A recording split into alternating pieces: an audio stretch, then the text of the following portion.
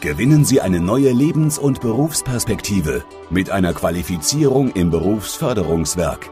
Wir sind die Experten in der beruflichen Rehabilitation von Menschen, die nach Krankheit oder Unfall nicht mehr in ihrem Beruf arbeiten können. Über 15.000 Menschen haben so ihre zweite Chance in Schömberg genutzt. Wir bilden Sie praxisorientiert in einem von 18 anerkannten Berufen aus, begleiten Sie intensiv und schaffen so beste Voraussetzungen für Ihren erfolgreichen beruflichen Neustart.